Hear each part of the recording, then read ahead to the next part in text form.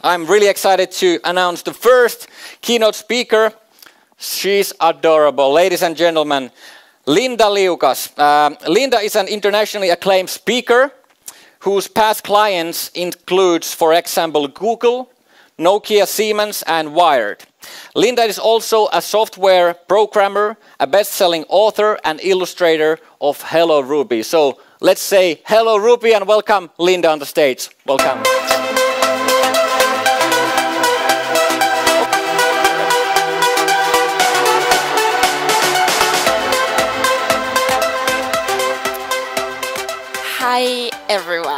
Um, my name is Linda. I'm a mediocre programmer. I'm an illustrator. I'm a children's book author. I'm a business school dropout, an honorary doctorate from Tampere University. And this is the thing about us humans. We contain multitudes. We can be many things at the same time. Computers are binary. They can be one or zero, on or off, pass electricity or don't pass electricity. But we humans can be many things, and that's kind of the topic of today's talk. I started my career from this one premise the idea that if code is the new lingua franca, if our kids are going to learn Chinese, English, and JavaScript as their first foreign languages in school, instead of grammar classes, we ought to be teaching them poetry lessons. And what I mean with that is the idea that in the same way we don't learn a natural language only by conjugating irregular verbs, we learn a language by speaking it, by singing it, by reading, by writing. The way we teach programming and code is pretty limited. And I, for once, when I was practicing programming uh, for the first time when I was in my early 20s, I would read through these computer science books and they would be horribly dull and grey and full of text. And Ruby was the first language I fell in love with, and I was really excited about the language and its opportunities, but the textbooks and the ways we taught were boring. So every time I would run into something I didn't understand, like what is object oriented programming or what is garbage collection in mobile development, I would start to doodle these little girl characters, Ruby characters, in the margins of the computer science books. And that's how the story was formed, literally in the margins of the books. But something interesting happened in my brain at that point, where in the past, you know how there's people who see numbers as colors. I started to see the world of technology as stories. And I thought, huh, if Apple was a character, it could probably be the snow leopard who's beautiful but doesn't want to play with the other kids because they are too messy. It only likes well designed, beautiful things. And, and, and if Linux was a character, it would be the ruthlessly efficient penguin who gets stuff done but is a little bit hard to understand at times. And I go to my mom and say, Mom, I want to drop out of university and I want to write storybooks about the world of software. And she says, That's a horrible horrible idea. That sounds like a Soviet propaganda book from the 1970s. Why on earth should kids understand how big technology companies think and what kind of values drive them? Well, here's the thing religions barely reach billions of people. Countries barely reach billions of people, but big technology companies like Microsoft or Alibaba or, or Rakuten, they reach billions of people on a daily basis, and it matters what kind of people and values we have inside these companies. And no one was really telling these stories about the world of software.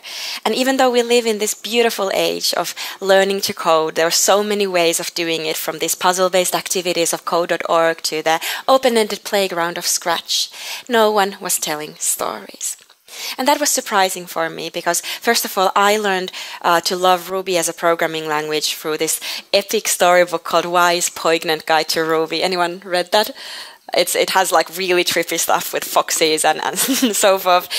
And even more profoundly, I think stories have always been the way we humans have understood ourselves, understood each other, and understood the world around us. And today, my job is not to be a programmer, it's not to be an illustrator, it's not to be an author, it's to combine all these three things and write storybooks for kids between six and nine years old about the world of computer science. And these books have been published in 25 languages, which speaks volumes about how different pathways into computer science are needed in today's world. Instead of, instead of only writing about code, I actually write about computer science at large. So about coding and computational thinking, but also about how computers work, how computers talk to each other, what are networks and internet. And the last book that came out in Finnish this fall is about machine learning and AI and what should six year olds understand about this world. And even though often I'm sort of pegged as someone who um, teaches kids to code, in reality, what I think is I prepare kids for a world where more and more of the problems around us are computer problems. And for most people, the misconception about our industry is that computer scientists spend time studying the computer. And it's an easy mistake to make because when you think about a physicist, they study the physical world. When you think about a biologist, they study the biological world. But a computer scientist, they use the computer to study the big problems in the world and even sometimes to solve them, those of energy or education or health or nutrition. And that's why computer scientists matter so much, and that's why it's a skill that we ought to be teaching to a much more diverse group of people than currently. One of my favorite quotes from uh, computer scientist comes from Edsger Dijkstra, who says that computer science is no more about computers than astronomy is about telescopes. It's about thinking skills, about problem solving skills. And I think this is what we inherently know, but for so many other people, computer science is about the syntax of coding. And that's a misconception I think we ought to change. So, how do we do that? I think first through stories, and second through reinventing the computer science curriculum we teach. And how do you then use stories to teach these skills? Well, let me introduce to Ruby. She is six years old, completely fearless, very imaginative, a little bit bossy. And when Ruby's dad tells Ruby, Hey Ruby, you're running late from school, dress up really quickly, Ruby does dress up, but she leaves her pajamas on because dad didn't specifically tell her first to take the pajamas off. Yukihiro Matsumoto, by the way, is not the dad of Ruby in this world, uh, he's someone else. And then when Ruby is told that, hey, Ruby, your room is a mess, clean up all the toys. Ruby cleans up the toys, but she leaves the pens and papers on the floor because, come on, Dad, pens and papers are not really toys. And even though it's a story, the kids who read stories like this, they learn something very profound about how to speak to a computer. You need to get very exact commands. Commands need to happen in the right order. Naming things is important, like all software developers know. And then you need to, need to take into account all kinds of situations that the computer might run into.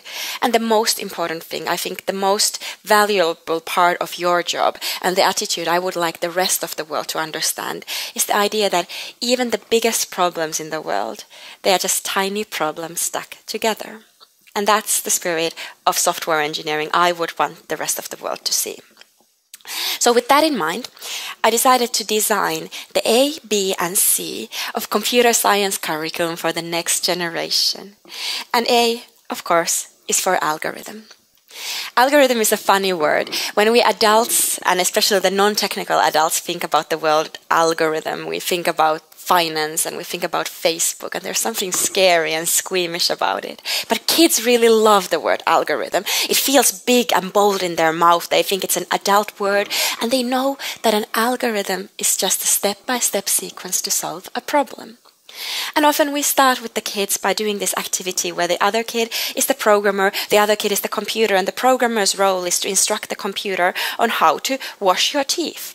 And it takes a few rounds and a lot of laughter and a lot of mistakes, and the kids learn uh, to understand the pain points of a programmer. For instance, did you remember the toothpaste? Did you remember to take off the cork of the toothpaste? What if there is an electricity breakdown in the building? And they start to have empathy towards all of the hurdles a programmer needs to go through while creating these instructions they also learn something very profound about how programmers work together.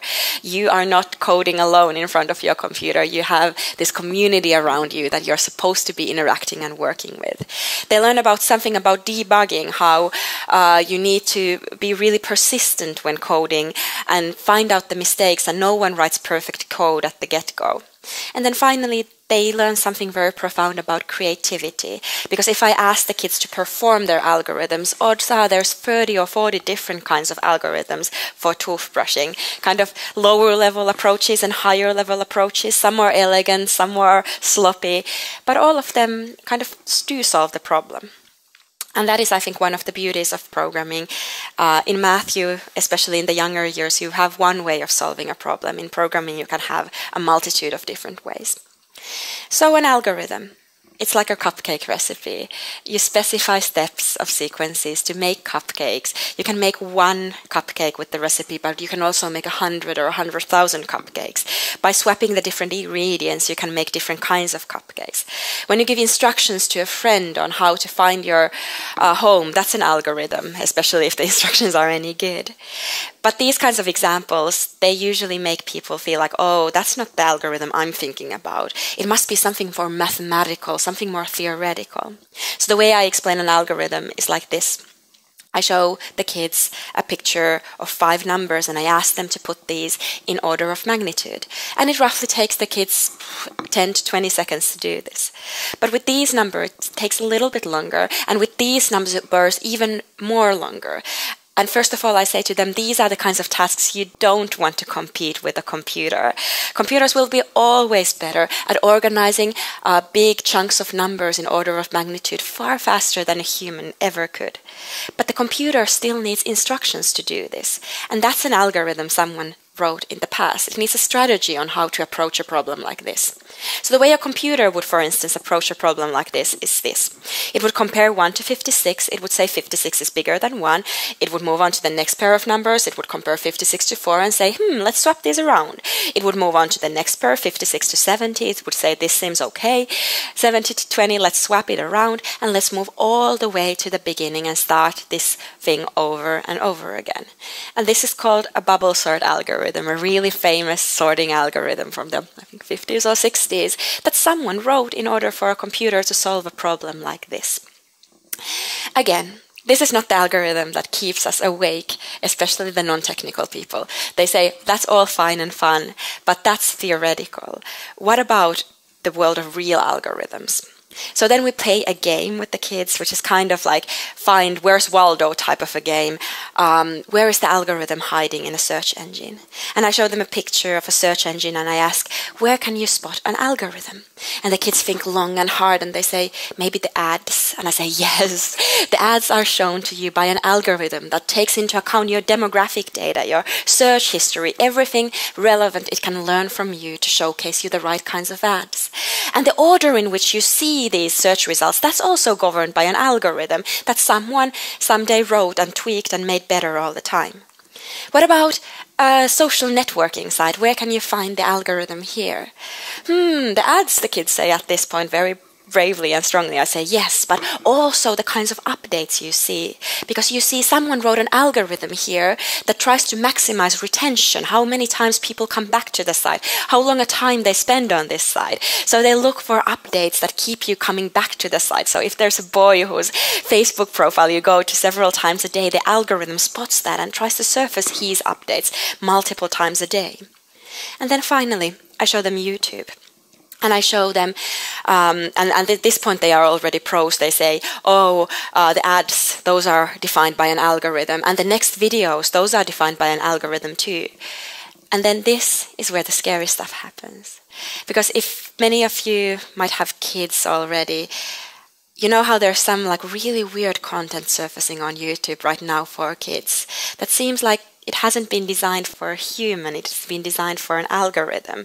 Things like surprise Play Doh, eggs, Peppa Pig, Pocoyo, Stampercats, Minecraft Smurfs, these kind of weird Eastern European like content factories that crush out this content that is clearly not done for humans, it's done for algorithms. And of course, the reason for this is that there is no way a human can go through all of the content that is being uploaded every minute to YouTube 400 hours of video every one minute. And we need an algorithm. But the world where we start to design content that is not done for six year olds, it's done for algorithms, is, at least in my opinion, a pretty scary world. And that's why we need to open up these concepts, make them visible at multiple different levels. And this is nothing new for pedagogists. I'm a little bit like disappointed and sad that there is not this interplay between industries and research, and especially the education research world, because there's so much knowledge available already in the 60s and 70s. Jean Piaget, a really famous constructivist theorist, said that you can't teach an entirely organized intellectual discipline only by offering pre organized vocabularies of content. And that's what we often do with computers science. We need to ground the learning in action. And I bet there's a lot of you who experienced this joy of learning through play when you were learning first computer science and coding. And we're taking that away if we're only teaching the word algorithm through explaining that an algorithm is a step by step instruction to solving a problem. We need to be a little bit more ambitious than that. And speaking of play, there's actually more to that. I spoke with some of the people who understand play best in the world, and those people come from Lego, from Denmark. They have this wonderful non-profit research wing that has been constructing research for the past 40 to 50 years on different motivations of play. And very roughly, they say that play comes in three ways or three motivations there's achievement based motivation, there's social motivation, and there's immersion motivation for play. But for some reason, whenever we talk about technical skills, whenever we talk about coding skills, we often talk about only the achievement level of play. We talk about domination, numbers, optimization, challenging other, gamification of systems. Whereas in reality, everyone here knows that there's so much more to programming. There's the joy of finding and giving support to one another, of finding and exploring new ways of solving a problem. And at least for me, uh, the perennial joy of escaping my real life problems when, like, um, when when working on a problem really, really, really deeply. And taking into account all these different aspects and motivations of play i think is key when we're recruiting and trying to attract new kind of talent to this industry that for an outsider seems very dominated by a certain type of a person. And it requires us as an industry to ask questions that we don't like asking. It requires us to uh, be emphatic towards people who have a different style of learning. So, whereas in the past a computer science professor might ask as an exam question, What is a loop? Define to me what a loop is. I think a far more interesting question, especially for a six year old, is how does a loop feel like? So, that's how we practice the concept, the very abstract concept of a loop with the kids, by having a dance party. Ruby's favorite dance movement is clap, clap, stomp, stomp, clap, clap, and jump. And we practice a for loop by repeating this sequence of movements five times. And we practice a while loop by repeating the sequence of dance movements while a condition is true. So while I'm standing on one leg, the kids keep dancing. And then as homework, they get the until loop, where you repeat the dance sequence until a condition is met. So until mom gets really, really frustrated with them, they keep dancing. And in this way, I'm hoping that the kids will be able to move up and down the different abstractions of computer science through this bodily kinetic movement all the way through the more abstract syntax based languages. And very, very importantly, we ought to also give the context of learning. Why am I learning this thing called a loop? Well, because if you make a game, odds are you need a loop. Keep moving the hero until it hits the enemy. And turns out there's this word called computational thinking that encompasses a lot of these concepts, these high level abstract concepts like algorithm and logical and critical thinking, pattern recognition skills, decomposition skills. But very importantly, it also includes practices, those of persistence, creativity, collaboration, tinkering. And we as software developers know very well that it's not enough to know code. You need to also have these practices of how you code in order to be an efficient and good programmer. The B for my ABC is for Boolean logic. And it touches on the idea that we've kind of flirted around with, the idea of a computer.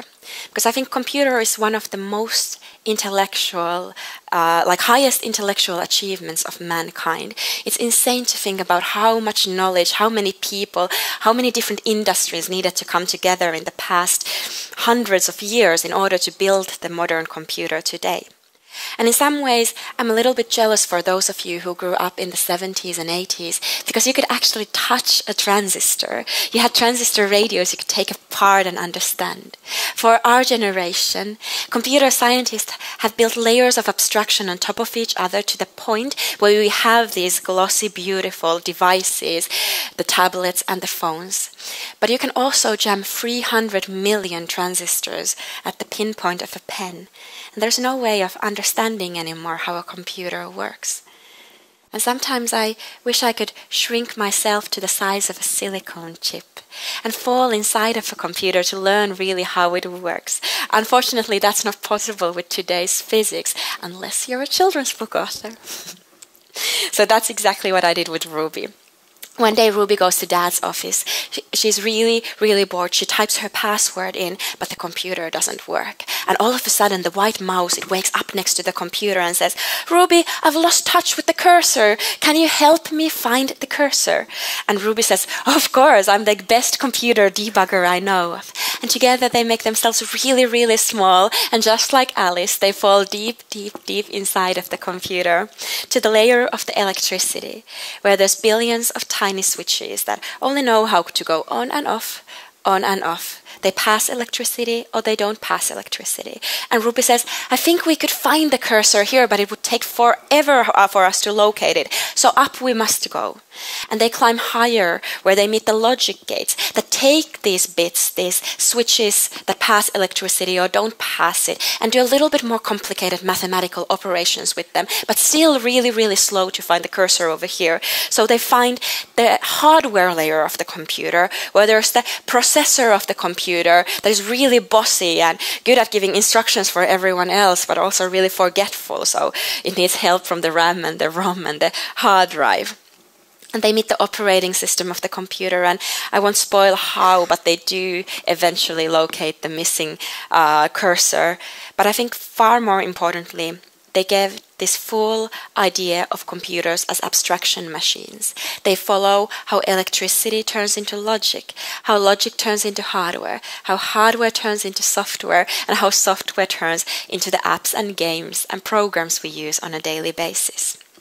And as a result, they understand that while computers are magical, they are not made of magic. And that's a very profound understanding. While computers are magical, they are not made of magic. They are made of logic. So, one of my favorite things to do with kids is ask them to draw what they imagine is inside of a computer. And this is especially interesting because I've asked this from hundreds of kids around the world. And very roughly, you can have these pictures in six different buckets. There's always kids who draw files and apps and games inside of computers, the content creators. There's kids who see the computers as these abstract interlinked networks of information, the future computer architects, maybe. There's kids who understand the computer through metaphors. They describe these little characters that operate inside of computers. There's even the gear gurus who imagine that there's tiny gears inside of a computer. Of course, there's no gears inside of a computer, but they grasp something about each component, the smallest component of a computer, doing a fairly simple thing, and together they're becoming powerful. And then there's the drafters, the kids who draw the hardware, the electricity, the logic of a computer. And again, understanding that computers, they might have a thousand faces, a thousand forms. And this is the last generation of kids that will remember the computer by the screen and by the keyboard and by the mouse. For the next generation of kids, the computer will be embedded in their toothbrush, in their teddy bear. And it's up to us to kind of update the metaphors and instructions we use to explain what a computer is. So often I do this activity where I ask kids uh, which one of these items is a computer. There's a car, a grocery store, a dog, and a toilet. And we discuss how cars are computers because they have navigation systems, how grocery stores have so many different kinds of computers inside of them, from the sliding doors that have a sensor that recognize someone is coming in, to the ice cream box, to the teller's machine, to the burglar alarms. Dogs are not computers, but a lot of kids talk about robot dogs and how dogs might have microchips inside of them so you can find them if they run away. And then I tell that in Japan, toilets are computers and there's even hackers who hack the toilets. This is like the biggest mic drop moment with the kids. Nothing else gets discussed for the rest of the day. So we discovered that there's actually hundreds of computers in every single home. And the next activity is one where I give them this little sticker with an on off button on it.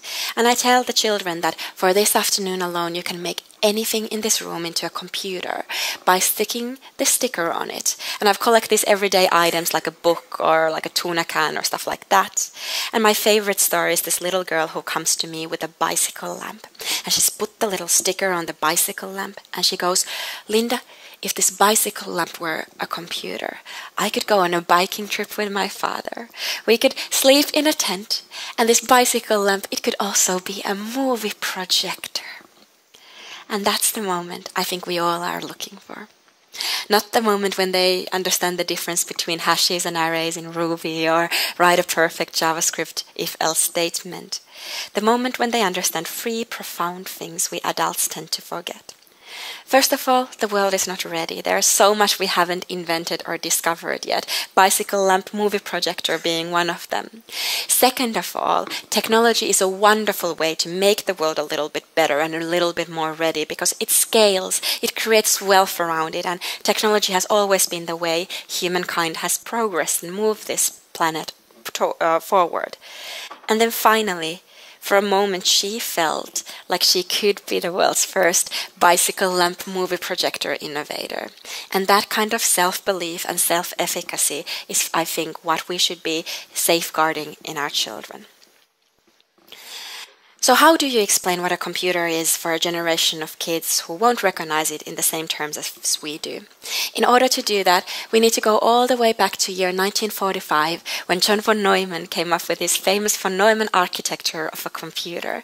And a little bit simplified, what von Neumann says that it is computer is any device that takes in information, input data, processes that data somehow, and out comes the modified information. This is true when you go on Facebook and you log uh, like something in goes the information to the server that someone has liked this post, out comes the updated or modified like count. But this is also true when you sit in a car and you forget to buckle your seatbelt, in goes the sensory information that someone is sitting in the car, out comes the beep beep beep noise we all hate so much.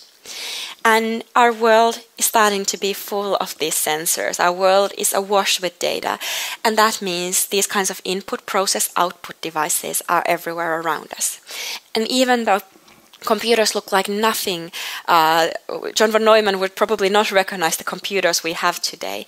The basic operating principle of a computer is still the same.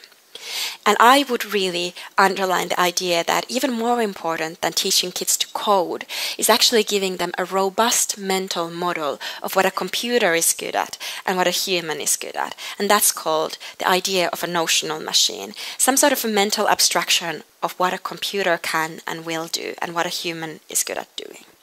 And that brings us to the last letter in the ABC, which is for creativity and computers. Here's the thing when most people hear the word artificial intelligence. The first image that they conjure in their head is one of Skynet, of Terminator, of a medieval monster that rises from the earth, and they feel frightened, and for a reason. Because AI seems omnipotent, it solves problems in cancer research, it spots uh, criminals from crowds of data, uh, it knows how to optimize, I don't know, like uh, sales uh, for apartments. But what people forget is that it's not this like general intelligence we're talking about. It's a very narrow technology applied to different industries. And when I try to explain what AI and machine learning is all about, I start with data. I tell them that every time you click something online, every time you move your cursor online, you're actually generating data. And cities, they collect a ton of data through sensors. And that data can be mangled and worked and, and like generated in different ways and you shouldn't be afraid of the word data it's actually something that is really powerful and fun and that data is nowadays being used to teach machines. We teach machines by giving them examples, and this is called machine learning.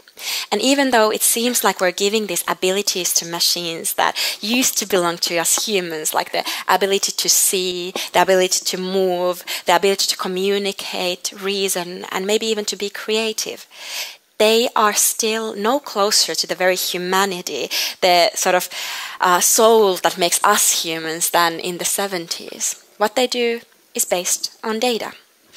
So in the past, if we wanted to teach a computer if this thing here is a cat, we would write an instruction of, uh, say, a cat is an animal with two ears and a tail, and it comes in brown and black and grey.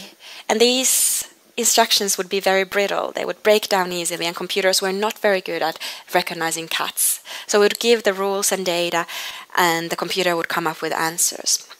Nowadays, instead, what we do is we give the computer lots of examples of cats. Google famously gave the, their neural network like hundreds of thousands of hours of cat videos on YouTube, and the computer comes up with its own rules to recognize cats. And those rules might have nothing to do with the way we humans recognize cats.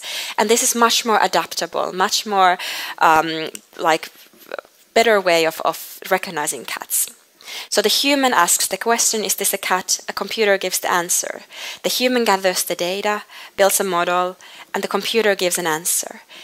But the thing here is that humans are still needed in this process. We gather the data and we look at the answers because the thing is, the computer doesn't actually give an answer, it gives an estimation, it gives a um, prediction or like probability of whether this thing is a cat and we still need humans in order to like check out if this is something that we truly want to automate if this is robust enough of a model uh, to build on and this is where I think a lot of people glaze out. They feel like, oh, AI is this magical black box that I can't uh, work on, where there's no future for me and my human skills.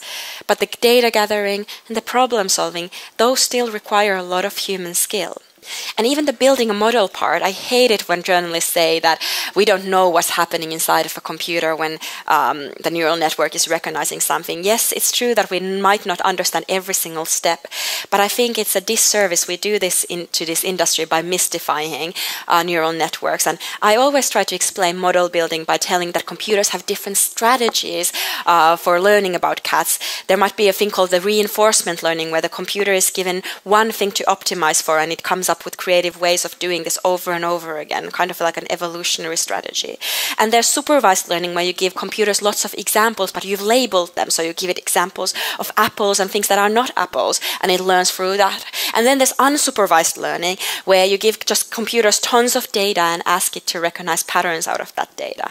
And sometimes with kids, we do, do this neural network exercise where the kids need to look at this neural network and find the different characteristics that apply with the cars and the uh, helicopters and so forth. And I think by mystifying these things, we are making a disservice to the next generation. Because we need different kinds of people, and here's the reason why. The data gathering part. If computers are now learning through examples, through the data we gather, there's a strong um, bias and precedence being made here. I show kids these four pictures of cats, and I ask them, what is the prejudice or bias a computer might learn if it only learns through these four examples what a cat looks like? And the kids say, hmm, maybe the computer learns that all cats have blue eyes or all cats are gray. And I say, bingo. Now draw a picture of a cat that is not gray and doesn't have blue eyes. What about this thing over here? If we're trying to teach a computer to recognize a teacup, what is the misconception a computer might learn out of a teacup? Well, that a teacup always has a handle, that teacups don't come in patterns. Yes, uh, draw like a picture of a teacup with the handle on the left hand side with flower patterns on it. And these seem like quirky and innocent examples, but as we are automating more and more of the parts of our societies with machine learning and AI, I think it's worth thinking about a future where someone forgets that not all nurses are women, or not all. Um, all camera software recognize people with different kinds of eye shapes. And this is where we need a more diverse group of people to get excited about the opportunities of machine learning and to understand that while computers are magical, they are not magic. And this is where the input process output comes in so handy. So when we think about a self driving car, for instance, the input is the car camera, the process is mapping other cars into uh, like a software or a map, and the output is kind of the ability to drive. Nothing more complex than that, based on data and examples. And I think in this world, it's important for people to understand what we humans are good at, where we excel at, and where computers are far superior. So with kids, I like to do this activity where we make an art algorithm machine. Because at this point, the kids already know that an algorithm is a step by step sequence to solve a problem. So, an algorithm might be to draw a green circle. An algorithm might be to draw a red triangle each inside of each green circle. An algorithm might be to connect the red triangles with a green line. And I turned this computer on, and in roughly 20 minutes, we've created this beautiful piece of artwork. And I asked the kids, So, how long do you think it would take a computer to generate an artwork like this? And there's 10 of the kids, and it took them 20 minutes. So they say one computer, maybe 200 minutes. And I say, No, no, no, no. A computer could do this in a nanosecond. It could probably generate a million of these in a nanosecond because this is exactly the kind of task a computer is good at. It's good at repeating sequences of instructions over and over again faster than any human could ever do. You don't want to compete with a computer on something like this. But how does this artwork make you feel? And a little girl raises her hand. She goes, It makes me feel busy. and another one says, It makes me think of last summer and the summer vacation I took with my family in Italy. And I say, this is the thing computers are not very good at doing. Computers don't have memories. Computers can't offer interpretations based on their own experience. Computers are not very emphatic. Computers are not very good at motivating us. Computers don't deal well with new kinds of situations that they don't have data on. And yes, it might be that our kids won't learn to program through the same way as we learn to program through writing step by step instructions. Maybe they will do the toothbrushing algorithm in the future by collecting different kinds of examples of toothbrushing. But these very human skills will still remain the same. And it's a long time in the future where we can have the computer like um, overcome all of the different intelligences that we humans possess. And with that in mind, I would like to propose a new kind of pact between AI and humans. I would like to understand AI as one of our best work buddies, like our sidekick, superhero sidekick from the future. And in order to do that, I wanted to ask from a storyteller how would they see it. So a lot of you know this story from Antoine de Saint-Exupéry, like The Little Prince. And in the book, famously, uh, Antoine draws a picture of a boa snake that has eaten an elephant. And when he shows this picture to adults, all the adults see is a hat, and all the kids see is a boa snake that has eaten an elephant. And Antoine gets really dispirited, and he says that these adults, I don't want to talk about them about exciting things in the world if they only see a hat. I will talk to them about bridge and neckties and politics. And if this is the dynamic between an adult and a child, I was wondering what would be the dynamic between an adult and an AI. And I showed this to the Microsoft Image Vision API, and it looks at the photo and it says, I'm not really sure, but I think it's a close up of a guitar. And I love this. I think this is the future of AI and humans working together, where AI can offer us a different kind of interpretation of the future. Because the future I'm worried about is where we only use machine learning and AI for optimization, efficiency, and prediction. I think we unleash the true power of machines and humans when we get people who have nothing to do with machines get excited about programming and computers. So I want to end up with a final example. Armi Ratia is one of the most visionary business leaders of Finland. In the 1960s and 70s, she started the company called Marimekko, which is known for its bold patterns and colors. And Armi said that, oh, Marimekko, it could have equally well been a fun fair or a flower shop. I just wanted to project my own inner world and the way I see the universe through fabric. And I always wondered, what if Armi Ratia lived a little bit later in life, if she was Linus Torvalds, if she used programming and code as a tool of expressing her innate creativity. And a year ago, I got a chance to experiment with this idea. So I was at the Marimekko HQ, and I decided to try out one of these new fancy things called the Char RNN, the neural network by I think it's Andrej Karpathy. Um, and I fed to that neural network 1,400 examples of Marimekko clothes names. These are things like Unikko, Tasaraita, Jokapoika. And the idea was that could AI help us come up with new names for, Mar- for Marimekko products by recognizing patterns uh, in the body of data, which was not very uh, large at that point. And I was really excited about this again with the Antoine de Saint-Exupéry example. And I allowed the computer to crunch like numbers for a while. The GPU worked really hard. And then the results were really bad. there were things like valos, ilislö, lahnilitanti, onasot, ikkakunig. And I go like, oh, is this the future of creativity? Like computers coming up with stuff that sounds Estonian or just like gibberish. This was not what I was after. But I figured that first of all, I hadn't pre trained the neural network with the Finnish language at all, so I gave it that. And then I, I, gave it a little bit more time to crunch these examples. And I go to sleep. And I wake up next morning and it feels like Christmas and Tamagotchi at the same time. And the results are wonderful. they include things like pyynimpakka, tanohalti, putti, pukukka, tirkka, ruitintulla. And even though you wouldn't speak a word of Finnish, you can see how joyful and happy, kind of Karelian and Eastern, uh, these sound. And I show this to the Marimekko creative team, and they go completely white. And they say, "Oh my goodness, is AI stealing our job?" And I say, "No, no, no. The computer generated three thousand names. We humans are still needed in order to choose the ones that like fit and work. But maybe you could see the AI as like a sidekick, as someone who can help you with your job instead of taking it away." Finally. I think the next big thing won't come out of Silicon Valley. It will come out of the back alleys of China. It will come from uh, Norwegian schoolgirls. It will come from this whole diverse, explosive, creative, colorful world that has not had a chance to see the world of technology in the same eyes as we do.